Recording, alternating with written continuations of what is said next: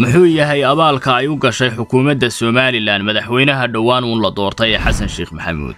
Saamayn intee leeg ayay ku lahayd guushii iyo doorashadii uu kaga badiyey madaxweynihii hore ee soomaaliya maxamed cabdulaahi farmaajo. Maxay tahay sababta ay ugu wacad furaan somalilan madaxda soomaaliya? Warbixinteennan oo aannu ilo xogogaala ka soo helnay ayaynu ku falaqayn doonnaa qodobadaasi markii ugu horraysay xukuumadda somalilan ayaa u abaal sheegatay madaxweynaha dhowaan uun la doortay ee waddanka soomaaliya xasan sheekh maxamuud. Waxaana ay sheegtay inay kaalin mugle ku lahayd doorashadii dhowaan ka dhacday waddanka soomaaliya ee uu kaga badiyey madaxweynihii hore ee waddankaasi. Somalilan ayaa sheegtay teer iyo intii ay goonnida isu taagtayba inay madaxda soomaaliya ku wacadfurayeen maalinta ay ku adkaatana ah ay u soo qaylo diranayeen iyadoo inta ay mucaaradka yihiinna somalilan waxa ay tahay iyo kaalinta ay taagan tahay og maalinta ay gaadhaan meesha ay doonayaanna ilaawa madaxda soomaaliya ayaa mas'uulkan u hadlayay xukuumadda somalilan waxa uu ku sheegay kuwo wacadfuryadu ay u noqotay caado oo somalilan ku wacadfuray marar badan. Haddaba maxay tahay somalilan waxa ay ku taageertay madaxweynaha soomaaliya xasan sheekh maxamuud ayay dadku isweydiinayaan baadhatiin aannu samaynay ayaa waxa aannu ku soo ogaanay somalilan inay dhaqaale ku taageertay xasan sheekh maxamuud markii uu ololeynayay iyo sida oo kale xildhibaanada somalilan metela ee laga doorto soomaaliya.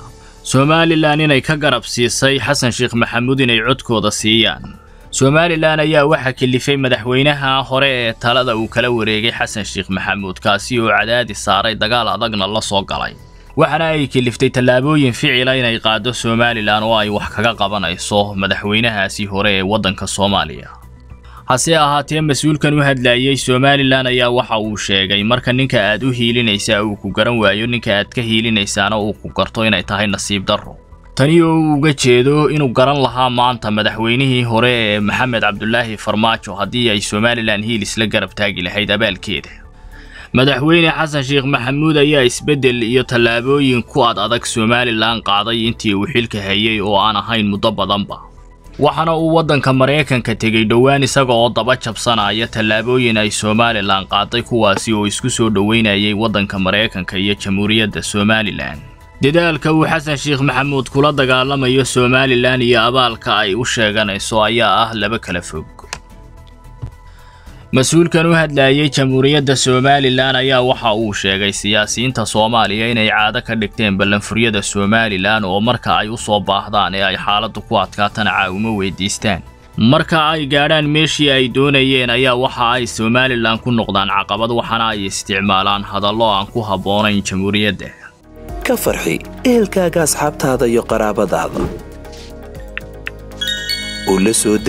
abka dahabshiil si aad si fudud lacag ugu dirto. Marka aad la soo degto ablicathonka dahabshiil ee aad lacag ka dirayso isticmaal koorka khadmad la'aanta ee tree free oo kuu sahlaya in saddexda jeer ee ugu horreeya ee aad lacag dirayso aan wax khadmad ah lagaa qaadin. Dahabshiil howlfudaydiyahaaga maaliyadeed